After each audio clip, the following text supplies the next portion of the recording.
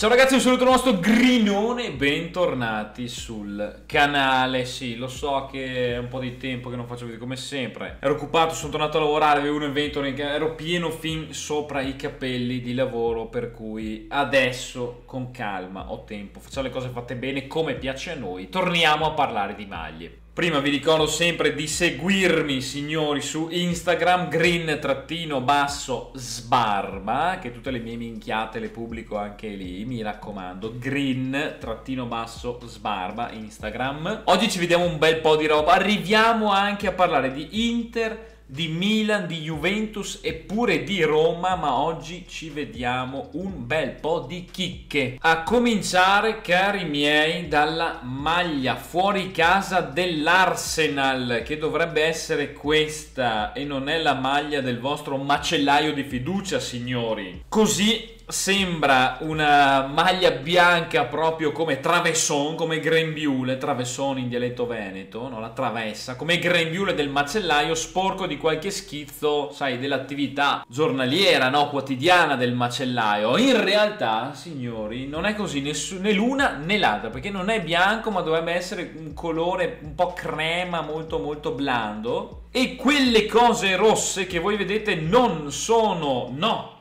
schizzi di sangue, ma non è, una cosa che Adidas ha spiegato, però hanno trovato questa spiegazione, dovrebbero riprendere le venature dei marmi che si trovano all'interno della Marble Hall, che è una sala all'interno dell'East End del vecchio stadio di Highbury, l'ex stadio dell'Arsenal, perché come sapete ora giocano all'Emirates Stadium, quindi dovrebbe andare a riprendere questa cosa qua. Ora io non so se i designer si fanno regolarmente di LSD prima di andare a lavorare o se si drogano di più quelli che vanno in cerca, cioè quasi come i complottisti, no? a trovare un motivo dietro certe cose. Fatto sta che questa è una maglia fuori casa e ha una grafica da terza maglia, possiamo dirlo. Non che sia brutta, ma è da terza maglia. Passiamo ora alla prima maglia, la maglia in casa del Borussia Dortmund che è già uscita e mi dispiace dirvelo ragazzi, non è affatto affatto ispirata al Pokémon Electabuzz.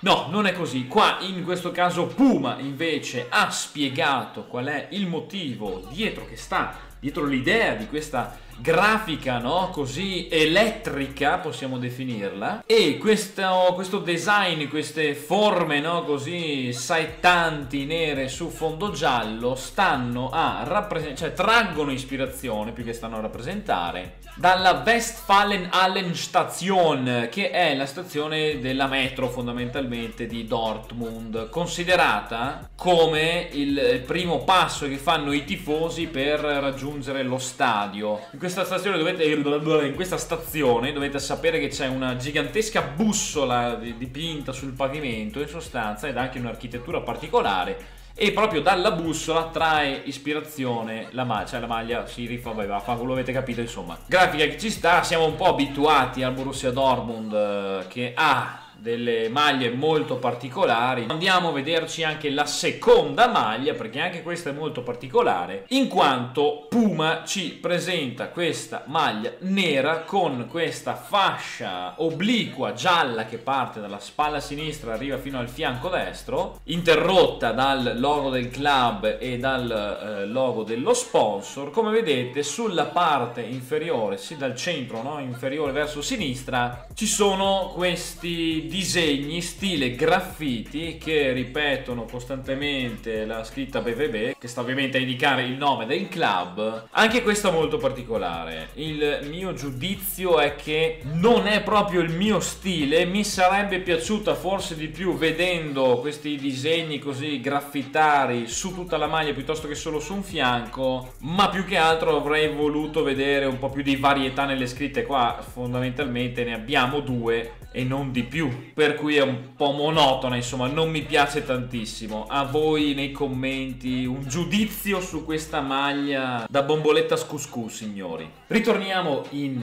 in Inghilterra, è quasi l'ora del tè quando ci viene presentata la eh, maglia fuori casa del Chelsea.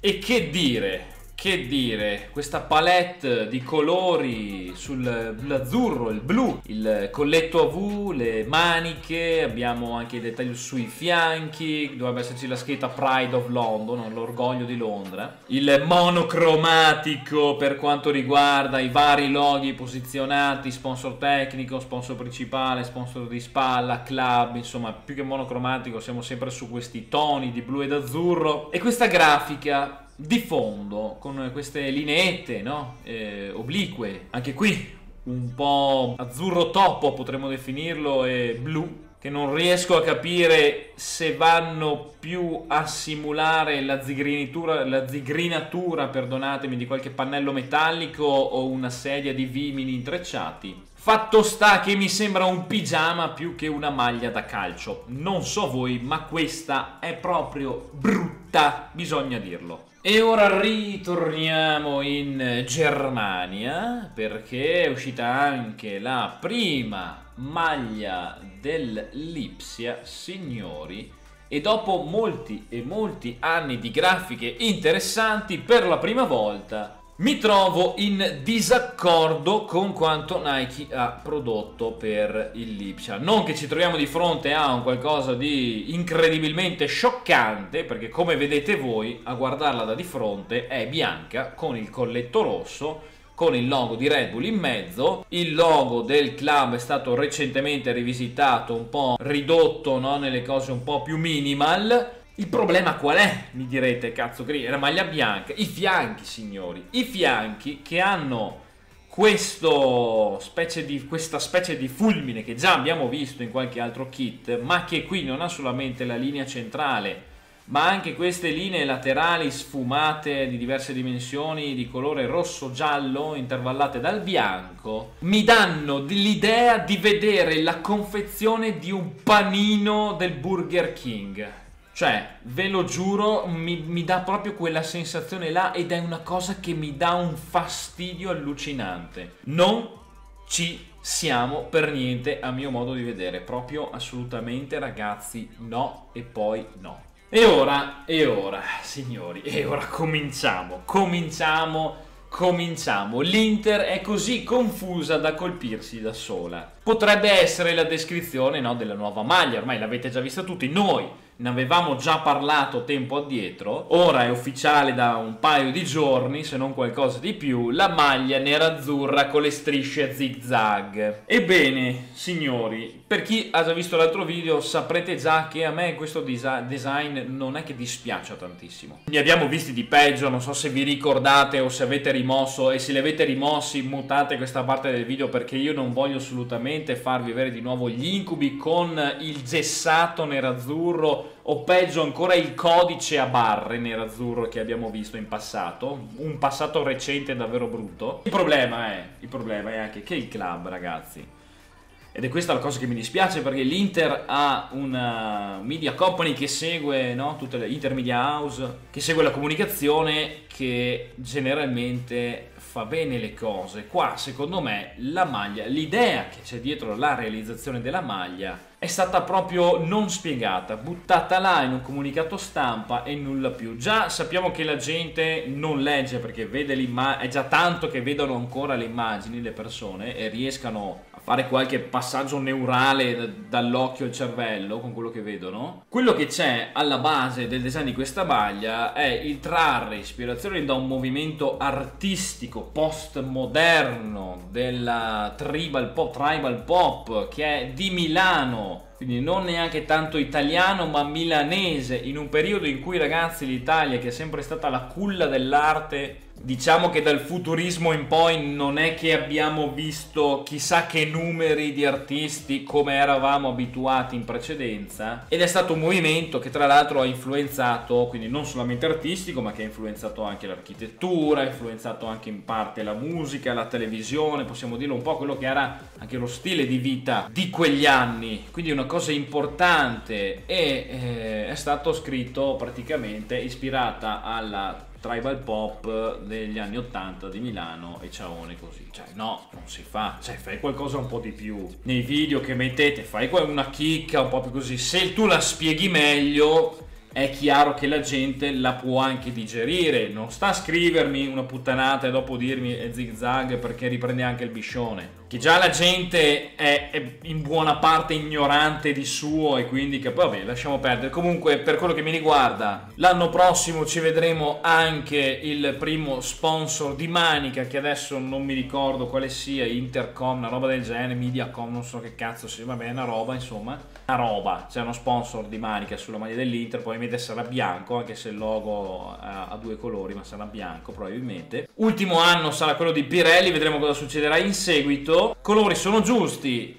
La forma è zigzag, secondo me indossata dai giocatori non è neanche brutta, ci faremo le abitudini, ripeto, ho visto di peggio e quindi riesco anche ad abituarmi a questa cosa qua. Insieme alla prima maglia potrebbero essere stati spoilerati i caratteri del nuovo font della Serie A che se non lo sapete finalmente uniforma numeri e nomi su tutte le maglie di tutte le squadre. Quindi ci troveremo dopo arrivati dopo i fuochi, come si dice sempre dalle mie parti, ad avere tutte le squadre con lo stesso font e eh, gli stessi caratteri per numeri e nomi. Ragazzi, non ce la faccio oggi, perdonatemi. Che è quello che vedete. Attenzione però, eh, questo potrebbe anche essere invece il font che l'Inter utilizzerebbe utilizzerà, scusatemi, nelle competizioni europee, quindi Champions Europa, quello che sarà alla fine, mi, tocco sulla Champions League mi tocco. Quindi no, potrebbe non essere quello della Serie A, ma un phone personalizzato per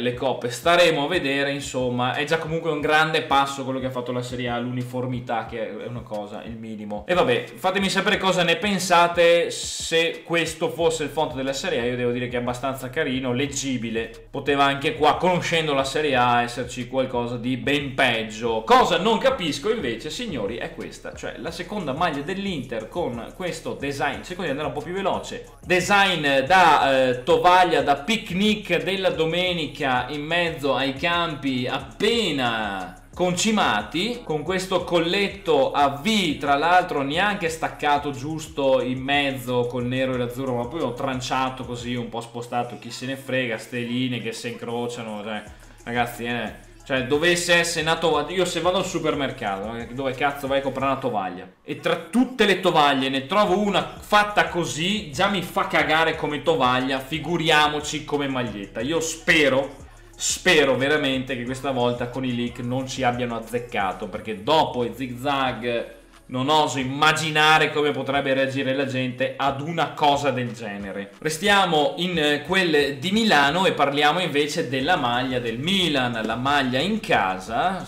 Anche qua è uscito qualche leak, qualche immagine. Io vi riporto sempre quello che c'è di più simile. Come ben vedete, stile classico perché abbiamo le righe verticali rosso-nere, ma il particolare è questa trama che nelle immagini si vede solamente nella parte nera della maglietta ma sarà anche sulle fasce rosse e sempre per la storia di Puma, no? crafted from culture, la, l'ispirazione di questa cosa è il pavimento del Duomo di Milano. Io credo che questa potrebbe essere veramente una maglia molto ma molto ma molto bella. Bisognerà vedere poi in fase finale di realizzazione quanto quanto pesante, quanto all'occhio salterà la trama, perché deve essere una cosa ben bilanciata, quindi col giusto bilanciamento di trasparenze potrebbe essere una delle più belle maglie del Milan degli ultimi anni. A mio modo di vedere, eh, come sempre i milanisti non va incazzate.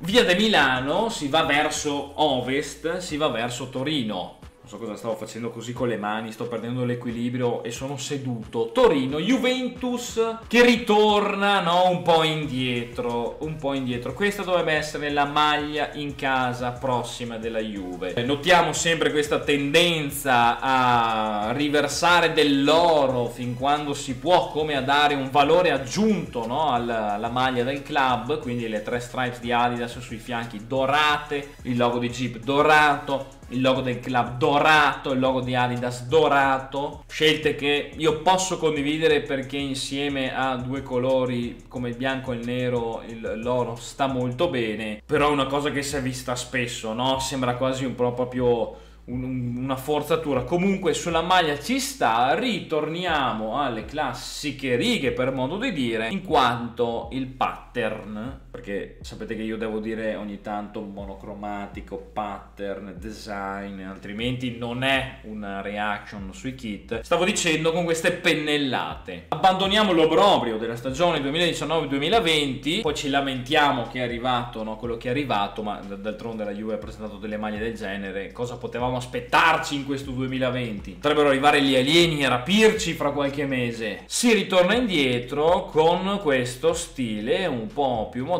quindi sempre magari in un'ottica dovesse essere questa poi la versione finale della maglia giovanile, no, diciamo, un po' trendy, con un occhio sempre al commerciale. Devo dire sinceramente che a me piace. Ora ragazzi, chiudendo vi do invece altre due notizie così. Una che riguarda il Milan che abbiamo visto prima, ovvero Milan che ha eh, concluso un accordo di partnership con Rock Nation, che come sapete, se non lo sapete ve lo dico adesso, è l'agenzia di comunicazione fondata da Jay-Z, signori, quindi tanta roba. Si occuperà, leggo un po' gli appunti che mi sono preso perché a memoria non riesco più ormai a gestire tutto perché sono bruciato il cervello, di gestire il brand Milan attraverso lo sport, l'intrattenimento, lifestyle, signori, anche eh, seguendo operazioni eh, nel mondo della filantropia, nel mondo della musica, collaborazioni per il merchandise, quindi potrebbero esserci delle chicche in futuro per i tifosi del Milan, strategie dig- digitali, vendite commerciali e anche eventi culturali ed eccetera. È un'ottima mossa secondo me questa da parte del Milan per quanto riguarda no, la brand awareness, no? l'aumento dell'importanza della fama, non che non ne abbia, ma chiaramente poi i risultati vanno un po' a far scendere quello che è la PIL del club. Queste operazioni sono quelle che iniziano a far distinguere i club da quelli di livello top a quelli normali. Per cui davvero complimenti al Milan per questa cosa. Restando in Italia invece altra notizia che ho messo anche nel titolo del video, la Roma parrebbe, secondo il Corriere dello Sport, quindi giornalismo italiano, non so quanto ci sia da fidarsi, presumo poco, a nome del CEO Fienga e del COO Calvo sarebbe scontenta di quello che è l'accordo che hanno attualmente con eh, lo sponsor tecnico Nike. Accordo che è stato siglato nel 2013, prevede 4 milioni di eh, sponsorizzazione a stagione, ha anche dei malus eh, per quanto riguarda la non partecipazione alla Champions League da parte del club ed è un accordo che se non erro dalle informazioni che ho preso è stato già rinegoziato ad ottobre 2018 per perché la società ha acquisito fondamentalmente un'azienda americana che si occupava di produrre lo stock ufficiale del materiale della Roma. Nella rinegoziazione la Roma deve aver ripreso controllo di quelle che sono le, re- le revenue, no? ovvero i diritti commerciali sul, sui prodotti. Adesso ragazzi io non so sta cosa qua, sinceramente questo è un rumor, una notizia che è venuta fuori così dal Corriere dello Sport, ma è stata riportata anche dai vari siti che io guardo no, per informazioni sui kit, eccetera. La mia idea è eh, che in questo periodo in cui eh, anche le aziende che producono capi d'abbigliamento tecnici, quindi Nike, Adidas, eccetera, soffrono perché come in tutto il mondo c'è crisi dovuta a quella che è la situazione di questi mesi, la vedo molto difficile che un club come la Roma possa spuntare degli accordi commerciali di partnership con magari altre aziende che siano migliori di quello che attualmente hanno, alla luce soprattutto di quelli che sono, perlomeno per adesso, i risultati del club. Non so cosa ne pensate voi, ditemi nei commenti se siete tifosi romanisti, magari quale marchio vi piacerebbe vedere produrre no? l'abbigliamento tecnico per la Roma, a me piacerebbe vedere magari qualcosa che in Italia non c'è, tipo, che ne so, Under Armour oppure New Balance, potrebbe essere delle cose interessanti. Credo di aver parlato abbastanza per oggi, questo video deve essere un po' lunghetto, per cui vi ringrazio se siete arrivati fino a questo punto. Vi ricordo sempre di seguirmi ovunque, Twitter, Instagram, ci sono i link in descrizione. Lasciate mi piace, iscrivetevi al canale se non siete iscritti, noi ci vediamo al prossimo video. Signori, mi raccomando, qualità. Ciao belli.